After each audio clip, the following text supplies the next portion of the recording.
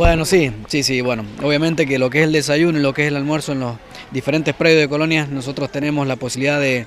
de, bueno, de ir día a día llegándole a 25 mil personas para que puedan tener la posibilidad de desayunar, de tener actividades recreativas, deportivas,